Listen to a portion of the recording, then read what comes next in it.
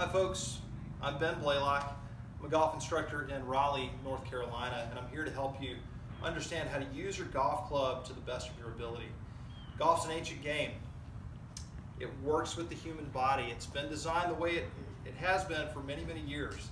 Golf clubs today, though the materials are, are much better than they were at the origin of the game and even, even better than it was five years ago, things always improve.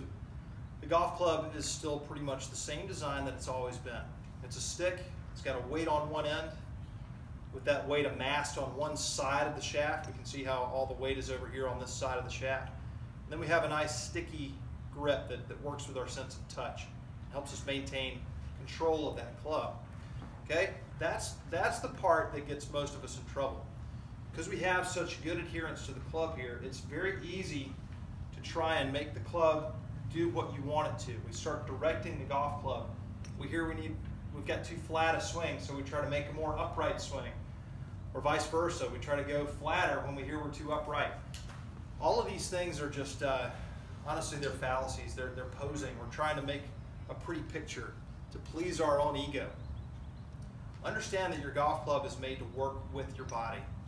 Okay, that, that sticky grip is there to secure the club in your hand so that you can have responsive arms as you swing the golf club, you use centrifugal force, you produce it. And that club otherwise would want to fly out of your hands this way. It would want to slide right out.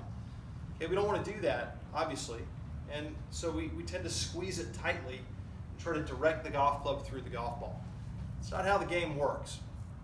Okay, this golf club with the weighted end here, if I try to balance it on my finger, obviously it's going to fall over and try to return itself to vertical with the weighted end down. Hey, that's just normal. That's how the golf club works. Now also, if I try to balance it on my hand with the toe up in the air, that's not going to work either. The club's going to just turn right over. I don't have to give it any effort down here. I can just, I can just let go of it and it'll fall over. One way or the other, it's going to fall down to the heavy end down. So the, the, the contact between your, your club and your palm and your fingers is really a big deal because, uh, you know, the club, the face of the club mirrors your hands. A lot of us fail to realize this because it doesn't really look like a hand, okay, but it does mirror your hand. So if I lay it across the palm of my left hand with the face down, I can put the leading edge of the club along this, this ridge here at the base of my fingers. Close my hand around, stand over here in an address position, and slide this golf club down, and you'll pretty quickly see that the back of my hand matches the golf club. So effectively, this is my hand on a stick.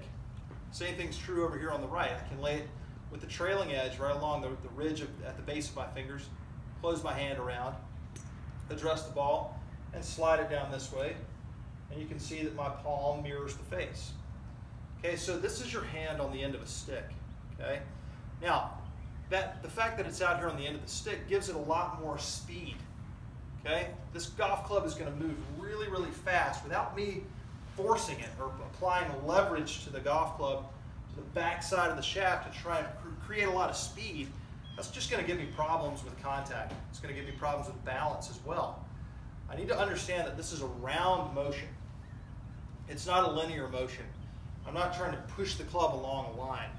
Even though we see a line and we try to, you know, tend, tend to instinctively try to swing the club down that line, it doesn't really work that way. It's a round motion. Okay, so what do I do with this thing? I, I know what it, what it is. I've got some basic understanding for it. I know how it works with me. Okay, so this, this heavy end is going to try and rotate your arm. If I just swing my hand around myself, just absent-mindedly, not thinking at all about my wrist or the jobs that it can do. You see my feet will move a little bit, my knees will move, my hips will move. Okay, and, and the most important thing to understand is that the face of the club opens and closes naturally in its own time. Okay? That's not me. I'm not doing that consciously. Same thing would be true on my right side. Take my hand around my center, and it's going to close and open. Always automatically, never manipulated by me. Okay, so we understand that the club closes and opens naturally. It does that because your shoulder joint on either side is a ball and socket rolls in the joint.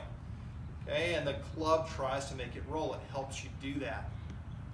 Unconsciously. It's automatic. That's why golf clubs have been built like this for 500 years, as long as the game's been around. So, what am I going to do with this thing? Well, get, get ready to play the shot. I've got all that prior knowledge. I'm going to hold the club at my left side, and I'll pick the club up here. Now I'm going to let it fall out here to horizontal, and I really feel the weight of it on these fingers. Not squeezing it. If I squeeze it, I can't feel the weight. All I can feel is pressure here. I want to hold it lightly so I can really feel the weight on the end of that club. And I'll lay my right hand in here and just feel the weight on these fingers now. Okay? I can really feel how that club feels nice and heavy. That's good. I want that. I want that, that clear sensation of weight. Now I'll just bow forward. Hopefully I'm not standing too far from the ball. If I am, when I bow forward, I'll have to reach out to get the club behind the ball, and I'll feel tension here at the back of my, the base of my rib cage on my back side. You'll start to feel a stretch there. We don't want that, okay? So again, we start here, your arm just hangs free by your side. The club soles itself on the ground, and you just close your hand around it there. Pick it up, nice light pressure, feel the weight. Add your other hand, continue to feel the weight. Bow forward with no stretching at the back. Just bow forward and take a stance. Now it's important to recognize that the part of the ball we're going to hit is the back edge. So that back edge needs to be in the center of the stance, not the middle of the ball. We don't want the middle of the ball at the center of the stance because we can't hit the middle of the ball. We can only hit the back of it. So again, start here at the left side, sole the club, close your hand, feel the weight in both hands. Now bow forward, club comes behind the ball, and make your stance of equal width on either side. Now, big mistake that happens all the time, people like to rest the club on the ground, giving the weight of the club to the ground. Well, that's a terrible mistake to make because now if I'm going to move this golf club, I have to grab and tighten my hand pressure to do that. As soon as I do that, I lose my sensitivity of where the club is in space. I want to always have the weight of the golf club. Okay? I have it, not the ground. Now, as I swing back, I've got the weight in my fingers. As it gets back here, that weight will fall to my thumb. Okay, obviously my left arm's bent a little bit. I really could care less about that. If you're one of those players that likes to stick it out straight, go for it. I don't teach it because I think it teaches rigidity in the arms, and rigidity is the, the antithesis of freedom and, uh, and you know, a, a, nice fluid golf swing. It's tense and rigid. That's going to kill you and, and rob you of speed and power. So let's just go ahead and feel the weight, bow forward. Now it moves from your fingers to your thumb. That's the backswing. Just moving the weight from fingers to left thumb. Fingers to left thumb. Don't think too much about weight shift. It's going to happen. We've got some technology here. We can measure it. I may make another video soon about how that works. But the big key here is moving the weight from fingers to thumb. That tells you that your backswing is finished and it's time to make a downswing. How simple is the downswing? Well, it's not very complicated. You've got the club resting on your thumb. Now we're just simply going to move our hands around the body, just like we did in those earlier one-arm swings. We're just moving the hands around the body in a nice curved arc, never in a straight line. So I'll hit a shot here and just show you the balance that comes with this type of approach to playing golf.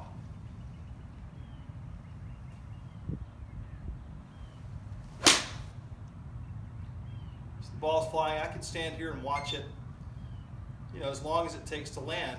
That was a great shot. I was really happy with it. Ball speed's about 120 miles an hour. That shot went 181 yards with very little effort.